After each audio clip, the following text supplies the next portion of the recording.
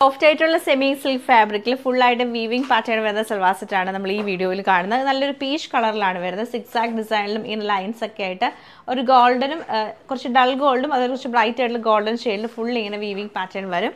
Back side നമുക്ക് plain ആയിട്ടായിരിക്കും വരുന്നത്. രണ്ടര മീറ്റർ ആണ് ടോപ്പിന്റെ ലെങ്ത്ത് ഇതാണ് ടോപ്പിന്റെ പാറ്റേൺ വന്നിരിക്കുന്നത്. ദുപ്പട്ട വരുമ്പോൾ നമുക്ക് സിൽക്കി കോട്ട ഫാബ്രിക്കിലാണ് ദുപ്പട്ട വരുന്നത്. നല്ല സോഫ്റ്റ് ഫാബ്രിക്കാണ് അതിൽ വൈറ്റും പീച്ചും കൂടെ മിക്സ് ചെയ്ത് നല്ല ബ്യൂട്ടിഫുൾ ആയിട്ടുള്ള ആപ്ലിക് വർക്കാണ് ചെയ്തേക്കുന്നത്. അതിന്റെ ഉള്ളിലൊക്കെ നമുക്ക് ഓർഗൻസ ഫാബ്രിക് കൊടുത്തിട്ടുണ്ട്. ഇങ്ങനെയാണ് ദുപ്പട്ട പാറ്റേൺ വരുന്നത്. ബോട്ടം വരുമ്പം പീച്ച് കളറുള്ള കോട്ടൺ സിൽക്കിന്റെ ബോട്ടമാണ് പെയർ ചെയ്തത് ഇത് നമുക്ക് നല്ലൊരു ലൈറ്റ് ഗ്രേ ടോണിലാണ് വരുന്നത്. ബാക്ക് സൈഡ് ഇതിന്റെയും പ്ലെയിൻ ആയിരിക്കും. ദുപ്പട്ട വരുമ്പോൾ നമുക്ക് വൈറ്റും ഗ്രേയും കൂടെ മിക്സ് ചെയ്തിട്ടാണ് ദുപ്പട്ട വരുന്നത്. ഇതാണ് ദുപ്പട്ടയുടെ പാറ്റേൺ നല്ല ലെങ്ത്തും വിടുത്തുള്ള ദുപ്പട്ടയാണ്. ബോട്ടം ഡാർക്ക് ഗ്രേ ടോണിൽ കോട്ടൺ സിൽക്കിന്റെ ബോട്ടമാണ് പെയർ ചെയ്തേക്കുന്നത്. ഇതാണ് നമ്മുടെ ലാസ്റ്റ് പാറ്റേൺ വന്നേക്കുന്നത്. ഇതും ചോപ്പ് നമുക്ക് രണ്ടര മീറ്റർ ആണ് വരുന്നത്. ദുപ്പട്ട വരുമ്പോഴത്തേക്ക് നമുക്ക് ഇതിലൊരു ഗ്രീനും ബ്രൗണും ഒക്കെ മിക്സ് ചെയ്തിട്ടാണ് ഇതിന്റെ ഒരു കളർ ടോൺ വന്നേക്കുന്നത്. ദുപ്പട്ട സെയിം പാറ്റേണിലാണ് ദുപ്പട്ട വരുന്നത്.